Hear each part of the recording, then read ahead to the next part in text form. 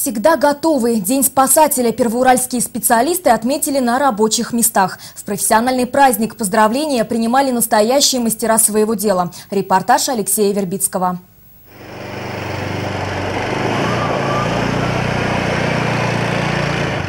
Техника наготове. Начальник поисково-спасательного отряда проверяет в действии квадроцикл, который может понадобиться в любой момент. На квадроцикле мы проводим эвакуацию людей, которые не могут двигаться самостоятельно.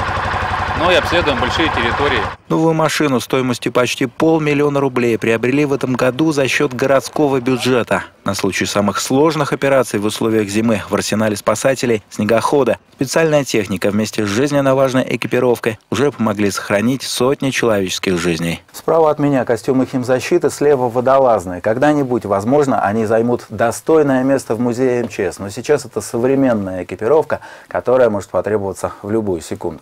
В любую секунду готовы помочь и сотрудники единой дежурно-диспетчерской службы Первоуральска. В этом году ее признали лучшей в регионе. Ежедневно сюда поступает по несколько сотен тревожных звонков. Здесь ни на минуту, ни на секунду не прекращается работа.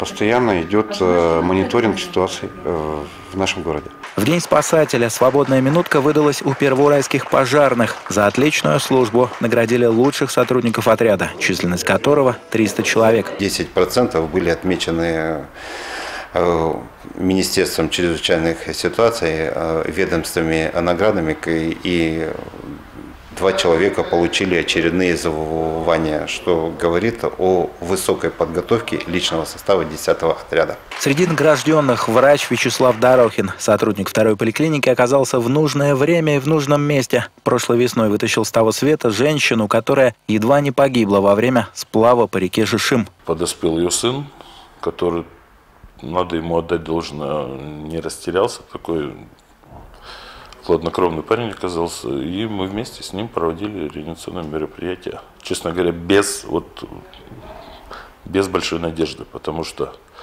я не знал, сколько она уже была под водой. Борьба со смертью заняла почти полчаса. За неравнодушие и профессионализм врач получает сразу несколько наград.